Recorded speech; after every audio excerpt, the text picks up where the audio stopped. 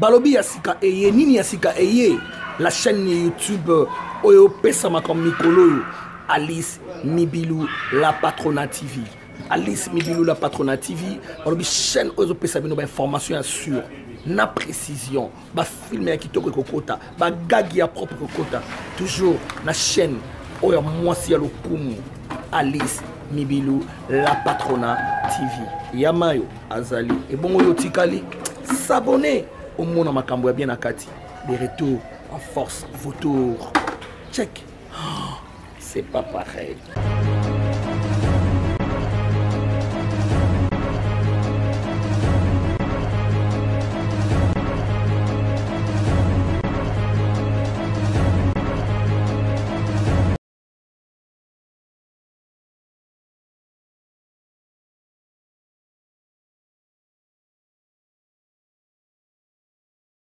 mboka wana depuis bakenda ti lelo bayaka kini te esanga fo koluka baconcert bamise bakotisa mwa cweke concert wana esalaki mpiaka ozo komprakoma asekaki fabrigas mm. me asali mpiaka koyokisa baninga motema mpasi mm. te mpo yo mpo oza musicien awuluwala mokolo ekoyela yo koyeba te et puis mosika te goma soki ozalaka ata libanda tonga tokomprendre mai na goma motan tokoki kosala baanalyse mm. tosalaka baanalyse tozalaka bajournaliste averti et puis avéré mais il y a d'autres personnes qui fait des analyses mpo mm. na kodésinforme bato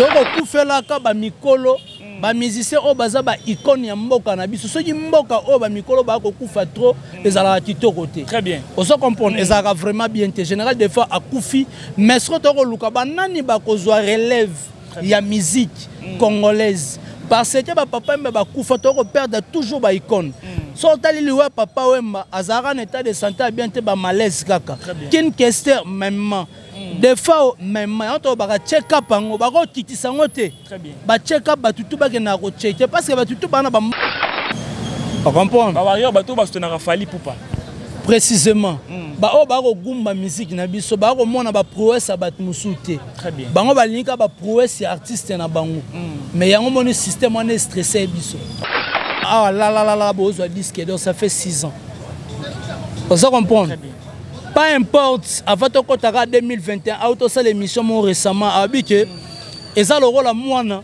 asali examen d'état tosombi daya bapoudre toyebi daya fo totya na biso poudre mais tozelaka bapublie le 24 décembre snep apublie bato oyo bazwi basinga lidor na ba na ba disque platine mais l'artiste en a fait aza te en a fait na snap très bien ozo comprendre donc dans le sens là toko loba eloko oyo na okomi te hmm. oyo okomi nanu te kosala yango teke déjà nakomi parce que c'est pas dit soko obeti featuring na nino nde ozwi disque d'or c'est que hmm. miziki na bango bango babetaka baza bana oyo baa badiaspora bakoli da na bamboka wana miziki na bango eza da adapte eza na différence ya lokola gims mpo tolinga miziki nde na congo esengai mpe ezwi temps artiste ipupa ezalaki concert vip te eputo ezalaki concert privé te hmm. balongola bano nde baolobaka ezalaki concert privé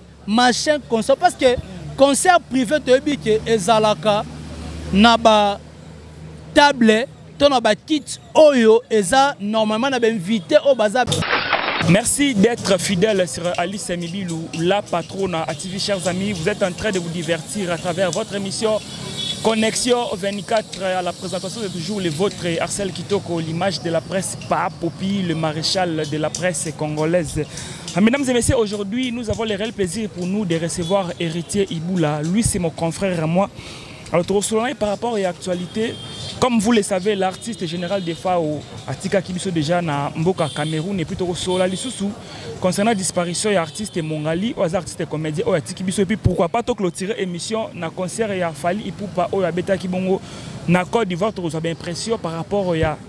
Héritier Iboula qui est, mon invité. Cette émission est réalisée par Junior Boala. Je vous dis merci beaucoup. Merci aussi à Alice Emibilou, la patronne à TV. Merci à Alain Tita Androkwa, les puissants, trois fois puissant Alain Tita Androkwa. Merci à vous, merci aussi à Logilo Machine Madaka Dakana Los Angeles. Je vous dis merci beaucoup Constance GM, la beauté, la diva.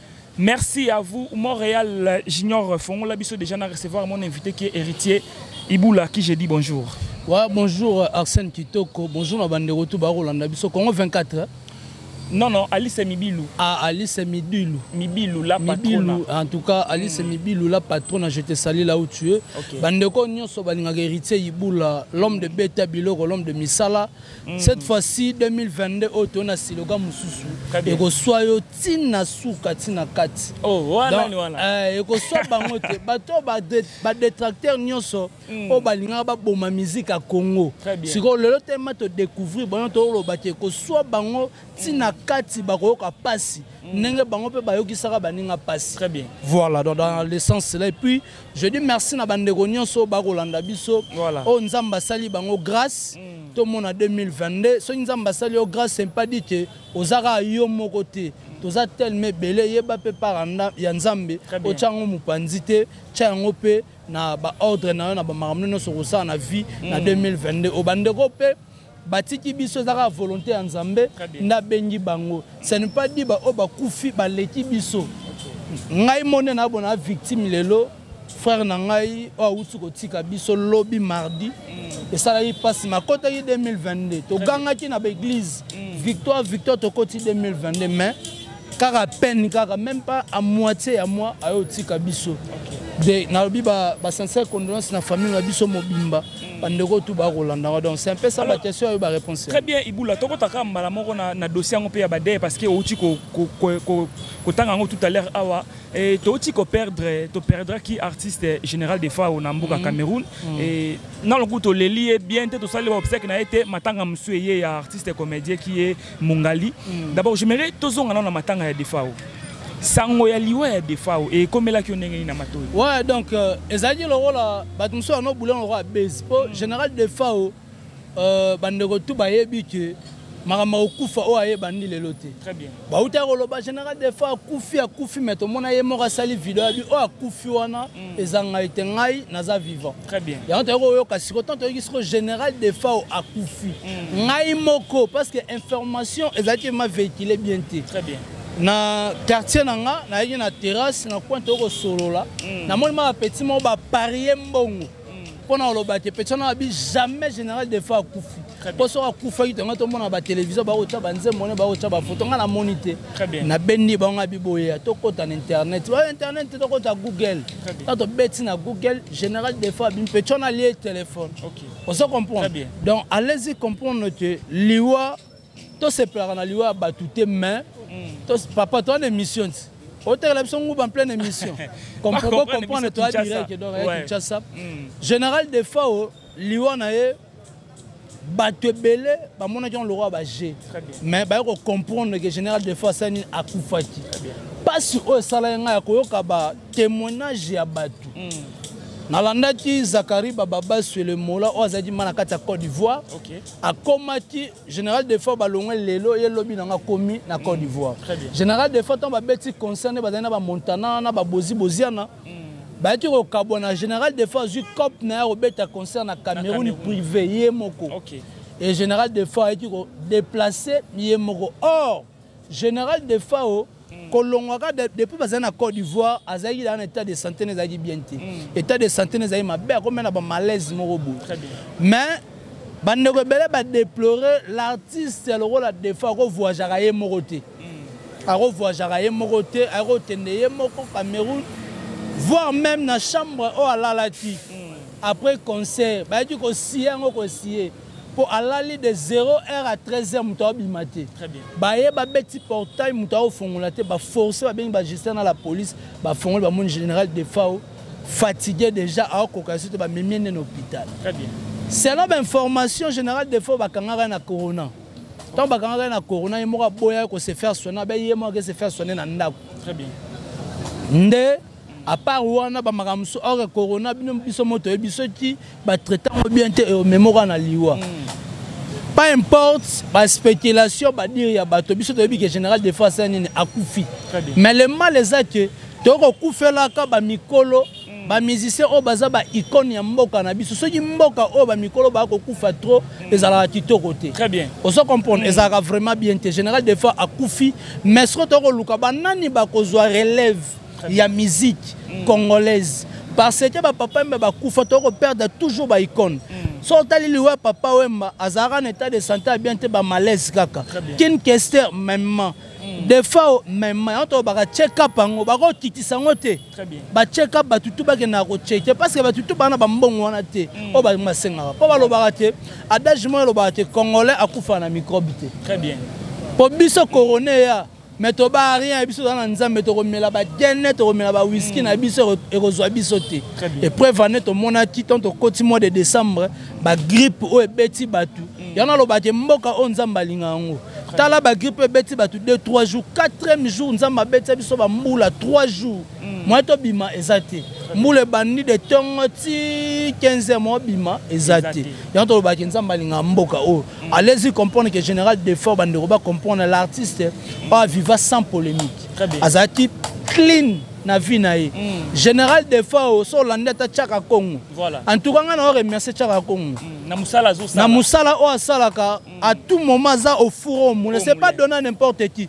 bato mosusu bayaka mpo na kosala bavisibilité na bango mm. so baninga bakufi bayaka kose faire voir kolakisa biso bilamba mituka mm. bakompoa kame simasiani nyonso oyo eza nango vanité de vanité mais bandeko bayaka kosala babezi bavisibilité na mais chaque congo ka ndenge bato basekaka ye na ndenge alataka bapantalon ya minene wana ka mm. ndenge azalaka il fait des choses oyo oh, lelo artiste musicien moko te akosala yango kaka na, na structure ne wana oyo ya artiste en danger lelo naomona bakomante bandeko baokoma babike lelo so chaka kongo aza te bato ebele baoregrete ye parce te bato ebele bamonaka mosala na ye vraiment te mais soki aza envi te toregretaka ye donc bandeko bacomprendre te général defort akufaki déjà tokozela corne déjà ekomi ya kinshasa toyoki balobi jeudi ekomi su jeudi eh? voilà donc tomoni na baimage mosusu ipare ekomi eh, ekomi jeudi mm. vi mpe bato oyo baninga batene mpo bakende kozwa corps fo okopemakaki délégation ya 20 personnes mm. di musicien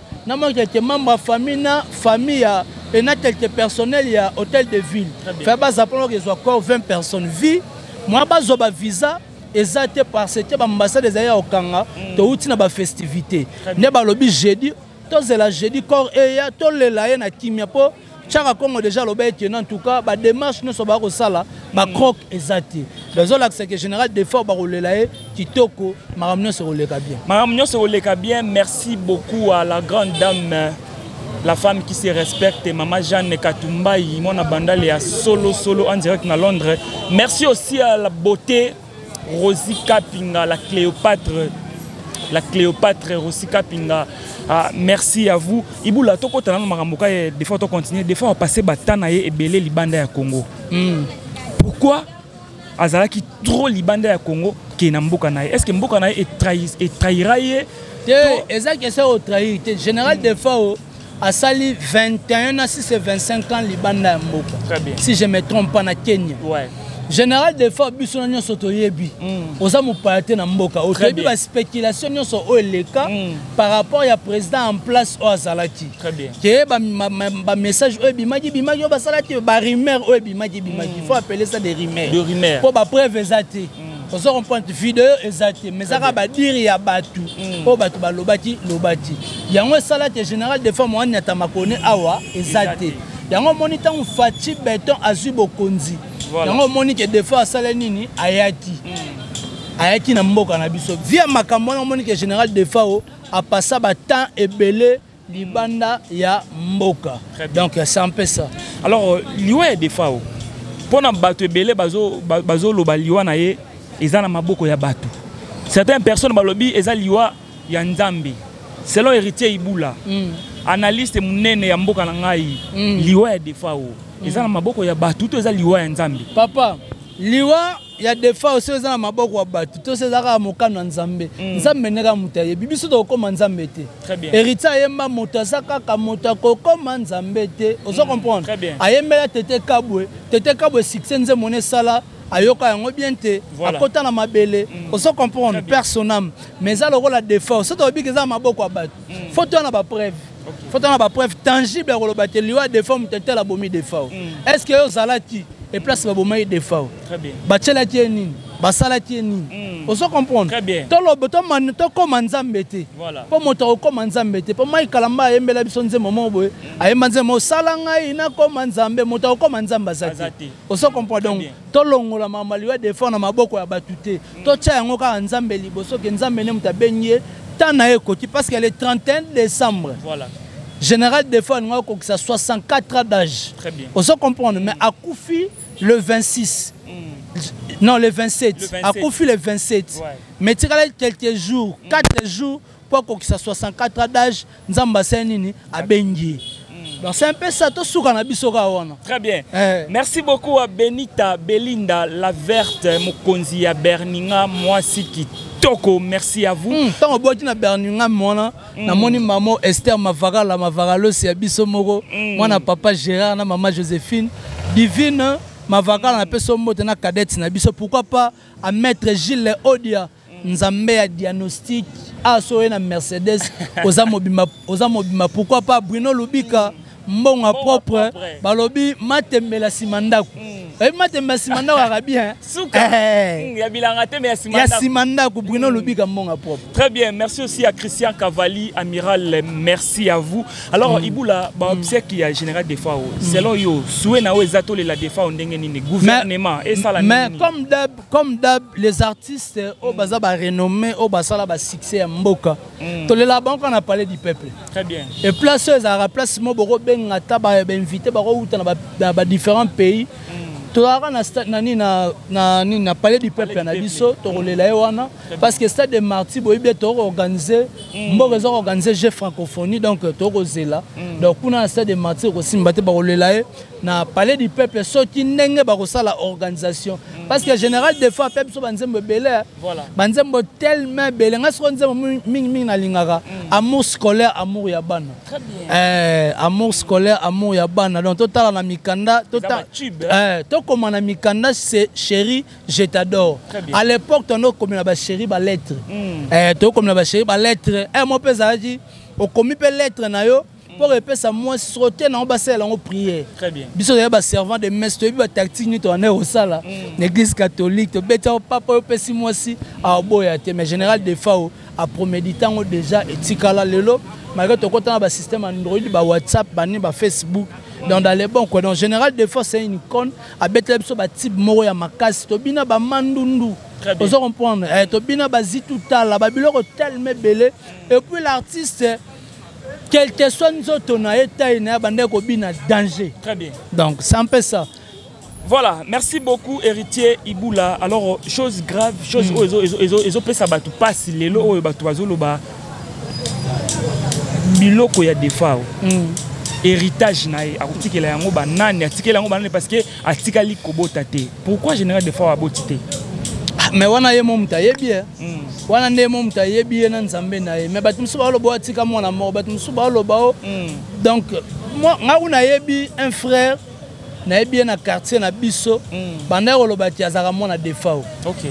nayebi ye vraiment epuis mwa motu esala lokwa mwa koningana eh, azalaki mpe chantre na église mosongolo na otanga nkombo te mm. ndeko wana lelo mwa motu esala mwa ere eh, moko azongaka bien ere eh, moko abien me balobaka te no mm. babota ye mama na bango abota ye na defao ozo comprendre wana ndenge ngai nayebi mais mm. na bato mosusu mpe bakoloba te abota mpe te banini tu etu mm. il faut kaka to verifie faut kaka to verifie mpe ye moko nde moto ayebi eloko nini esala te abota te mm. wana kaka ye nde moto ayebi parce que bato tu te babengana na mokili oyo il faut kaka babota eh, mpo soki totali mpe na histoire ya bible bato mpe bavivaka mpe kala bamosusu mpe babotaka mpe te ozo comprendre bato mosusu mpe babotaka te donc dans le sens là voilà merci ya maman madi wembo obeton la grande eh, ma, maman madi wembo beton Mama Fanta Fofana basi oyo basola kitokobagolo na bagladiateur nyonso na biso voilà merci aussi ya elton jogo rnf na brésil moïse abisco Merci à vous, Steve Matei, tout jeune depuis Dallas. Merci beaucoup. Alors, Iboula, tu as clôturé dossier à, mm. à Defa, pour te côté, Nini Moussoussou. Est-ce que Defa a marqué la musique congolaise A marqué un plus. Qu'on marqué, bon, Des fois, surtout tali bien, mm. les années antérieures, on pourrait dire oui. Voilà. Mais na banne oyo, na baki lelo, non. Très bien. Ponga lo baki lelo, eza ki liboma. Ok. Euh, ki lelo eza non ki liboma, po pesi biso ba buzo bebele. Donc il y a une différence musique ya ba ya kalawana ya ki lelo. Na ki lelo différence eza la rati. mais yoka barumba ya biloko badefa babeta yoka bosanite na kati mm. toyoka ngo te ntango nabetelo sous forme nabeteloka nzembo amour scolaire amour ya bana mm. oyebi te mwana nga aza na 14 ans mm. ayebisi nga papa oh defa we oyo ayemba nzembo ya amour scolaire très bien tasotaka mwana nga aza na 14 ans bamiziki wana ayebi yango te abotama na 2008 ozo comprendre bamiziki wana vraiment ayebi yango vraimen te mais koyoka kaka nakotala na télévision soki otali général defao ya kala seboma ya lelo te mpo soki otali ba 2005 6 7 tokóma lelo général defao mm. na batélévision na biso abunga na ye tovale bafasi te mpo bato ebele bakosala baanalyse bakoloba yango te mm. général defao na télévision na biso ya kinshasa awa batyaka ye te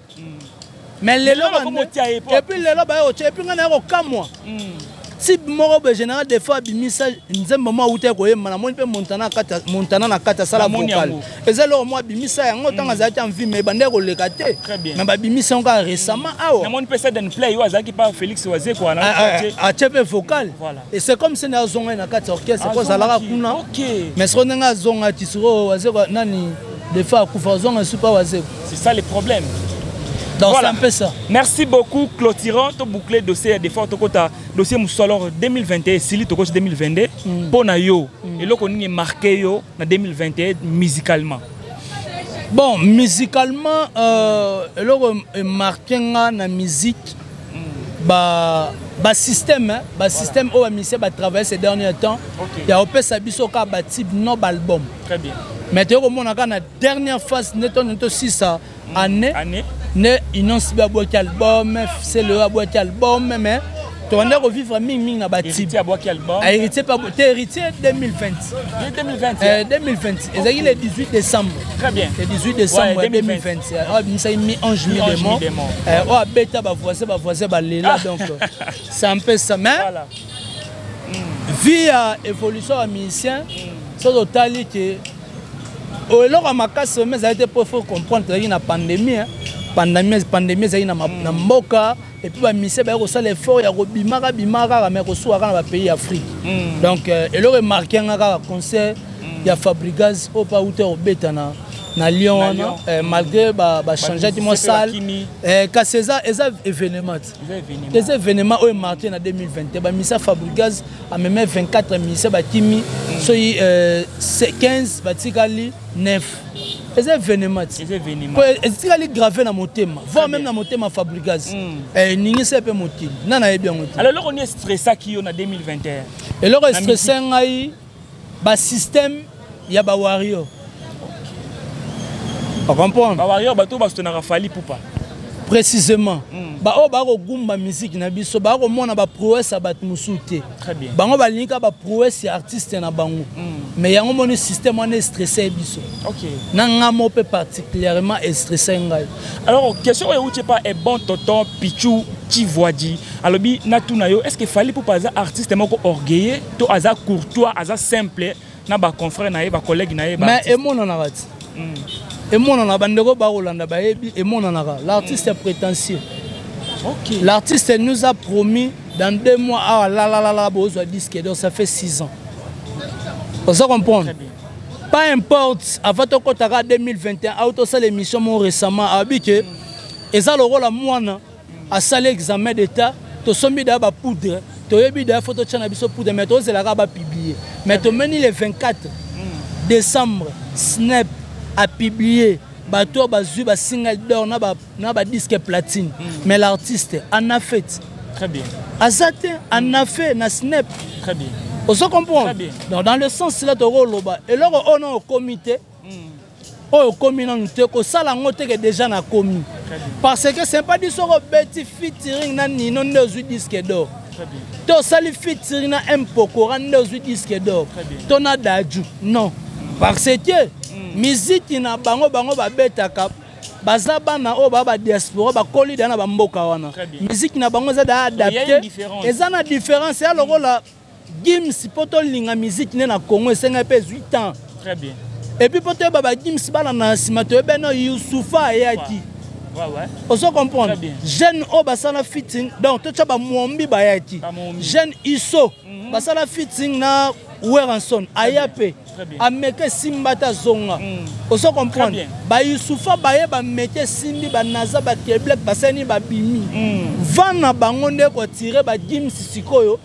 baye ko s'imposer voilà. ozo comprendre ba dadju banini jusqu'aujourd'hui yango tellement ba s'imposer na congo oyo eza pays natal na bango kuna déjà mm. bafanda kuna baévolua kuna différence eza ya monene yango mona héritier otanda banda koloba te hmm. quelque sorte okobeta miziki ya bango kokana na oyo ya biso te donc bapapa wemba babeta ba émotion esala mpe bateka baexemplaire ebele mm.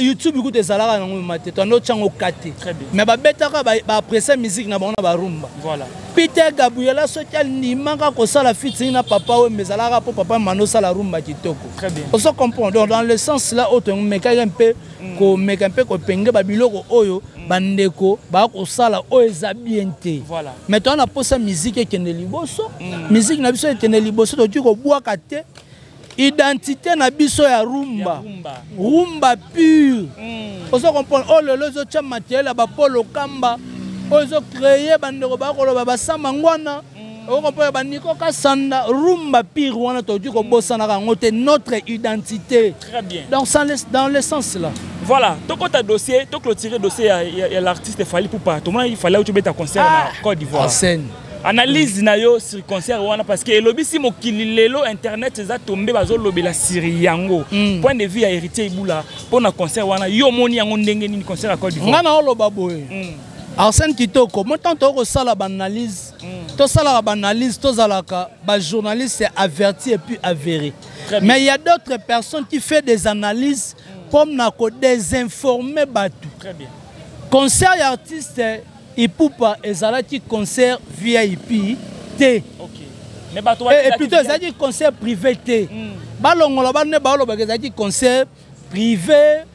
machin concert parce que concert privé toyebi ke ezalaka na ba table to na bakite oyo eza normalement na bainvité oyo baza bainvité na kati so baya bainvité baya 50 personnes mm. so baye 45 baye 30 pas importe mm. mais oyo wana ezalaki concert privé te parce que concert privé batiaka prix okay. ya, ya droit d'entrée te mm. basalaka affiche te mpo tomonaki affiche moko ecircule mm. na bapage okay. ya facebook que l'artiste bakomi l'artiste fali a fait sold out na côte d'ivoire mpo na concert wana allez-y allez-y comprendre que concert wana ezalaki concert moko brisque okay. ezalaki concert moko ezalaki proclame te par rapport ya calendrier artiste artiste, artiste il fallait ajouer na benin concert ezalaki raté suite mm. ya pandémie ya covid oyo oh, bango balobi okay. ozo comprendre compte tenu concert wana ezalaki raté mm. nde l'artiste bayaki kosollicite abeta concert wana mm. vi bana bato bafandi trop na mboka wana mm. depuis bakenda ti lelo bayaka kini te esanga fo koluka baconcert bamise bakotisa mwa cweke concert wana esalaki mpiaka ozo comprendre oyo bandeko esali nango plein ezalaki te wana eza image monte image ma artiste aoyemba okay. 4 table nde bato bafandi epuis 4 table wana bato bafandi 10 personnes te mpo mm. concert wana bato mosusu bamemi so sold out na batiaki yango 2000 dollars okay. demi de ok concert ezalaki 150 000 francs cfa très bien mais concert baye koréduire yango na 100 000 francs cfa okay. concert afali baréduire yango na 100 000 francs cfa mm. mais bakosi biso 2000 dollars yango moni baivoirien na bémission na bango na badifférentes émission na bango balobi te mm. l'artiste fali pupa bako baza kosala eh, baza kospecule information mabe ya sold out na bamontant exorbitante papa toyei kosala toyei kotya concert ya 2000 dollars mm. toboyi te na bapandemi oyo oh, quelque soit pays na afrique na afrique concert ya 2000 dollars mm. ata kutu yango sikoyo l'artiste ayo olinga kofaire voir biso mm. baplace oyo akomi ork akomi nanu te ça fait très mal eza défaut très bien eza défaut omoni ba concert privé tomoni ya bawera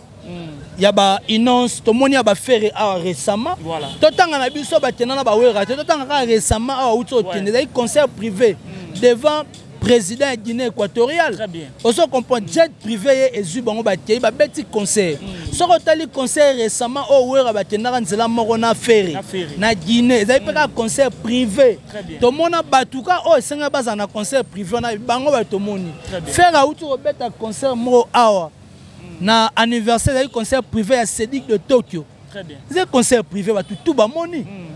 bandeko batika komelisa biso pilile oyo eza amare na mitema na monoko na biso eza mabe baya kokosaka biso na bainformation mabe te voilà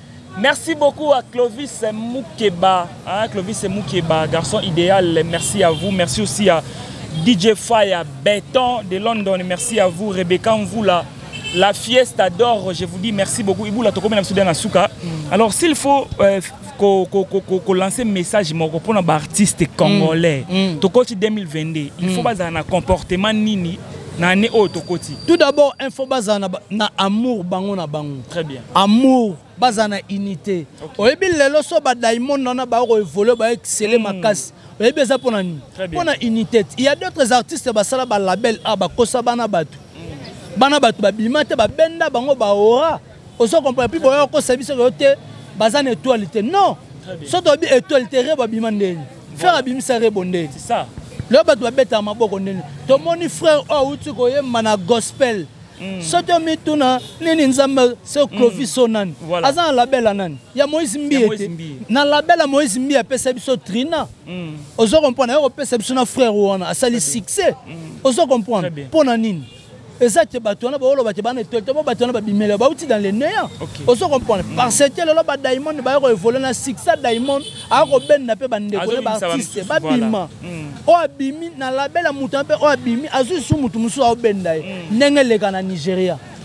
yango omoni ba nani ba ba ba, ba nani ba ba, ba mission oyo ba nani ba ba Davido voilà. balingaka basala na bango na bango ba évoluer omoni Davido oyo bakosala fitting na mission mosusu nanu te il faut a évoluer na na ba mission mboka na bango ya mboka na bango c'est ça yango omoni sikoyo tokoki kosenga na ba musicien na biso mpe voilà. bateka ba musicien na bango bato baza na balabel basalela balabel bango na propre madite sympa di moto akotika na label no alekaka na télévision donc aoleka kaka boye ba label ya kofi na label fale aza na label fer aza na label eh. baza ebele basor na bango toyebi basor balacoste bayese so bana balabel voilà tomona mpe fabrigas na label tomona mpe tatiana cruz ase débrouillaka na ye quand même mm, voilà. dans le sens là alongwa na label ya fabrigas alongwa ah, ouais. mais toyebelaki ye kuna toyebelaki ye kuna eh, donc dans le sens là mpe na label ya fabrigas akobimisela biso artiste océan aza na tibi na ye moko batyango na kati ya ya album merci oyo ayembeli vie na biso 3 l magique ya lotise longi lufuantenda mm. la titre ya nzembo eza négligence bandeko baya kodécouvrir ye kala mingi te omoni mm. robin asali mpe mpiaka na goma asekaki fabrigas mm. me asali mpiaka koyokisa baninga motema mpasi hmm. te mpo yo mpo oza musicien awulu wala mokolo ekoyela yo koyeba te epuis mosika te hmm. goma soki ozalaka ata libanda tonga tokomprendre me na goma ya loba ete mpo musicien abeta concert fo aza na batiba succès mpo hmm. abeta concert libanda mais sikoye to, to sous-estime te aza na bati ba succès kasi mm. ake beta na goma abeti nzadi mpo wana très bien oyo koyela okoyeba te voilà. merci beaucoup héritier ibula wana ekozala dossier mosusu tokoyambela mpo tosolola makambo ba concert oyo merci ya alain lukoji docta papa de fille hein, la famille de a merci à vous héritier ibula tokomi na suka mpo na mm. bato batali yo euh, baretenir na passage na yo de trois personnes bambote puis voilà bandeko balandi héritier ibula en tout cas bokende mm. na héritier ibula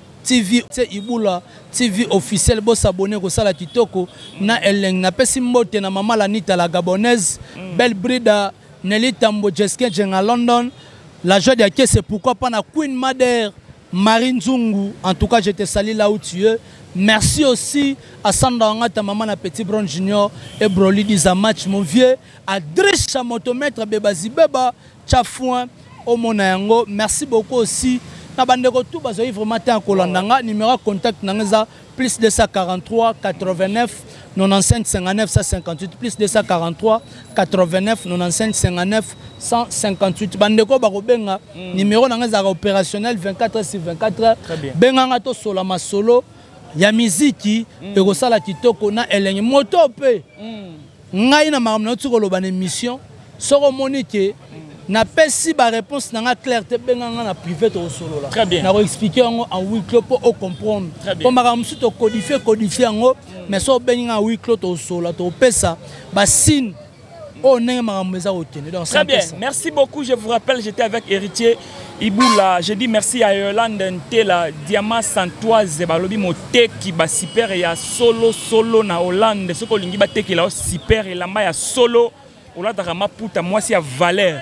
Mipesa valeur na super na Hollande kende pa ya Yolande Ntela. Diama Santoise, merci à vous, abonnés fidèles à Alice Mibilou, la patronne. Vous s'abonnez toujours à vous ne serez pas déçus. Quant à moi, je vous retrouve très prochainement. Invité, pourquoi pas, Na analyse mususu je vous dis bye bye.